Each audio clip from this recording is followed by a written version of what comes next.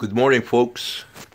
Uh, it's about 8.55 in the morning and there's a quick view of the where the batteries are doing and what is the status of the controller. I'm getting about 1.4 kilowatt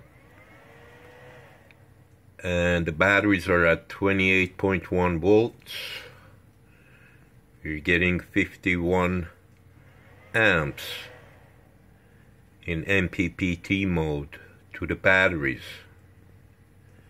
They're about 95% 91% charged. Go. State of charge 91% go to meters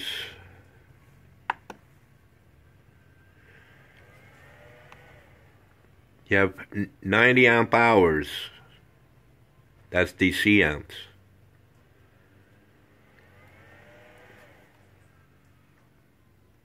and this is how much is left there to be filled out about 155 amp hours so we're close to getting there. You're doing good. You have zero draw on the batteries. And we're at 28.1.2.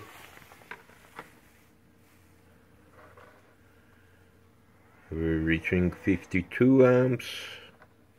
Temperature is 62 degrees and we're at 1.4 and a half kilowatt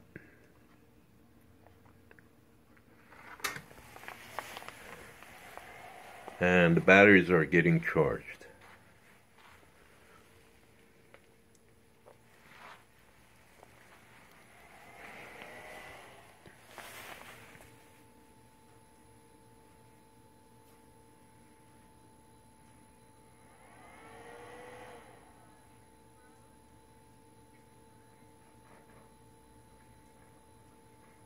Yeah, it was a short video of the charging status. You guys have a blessed day and be safe.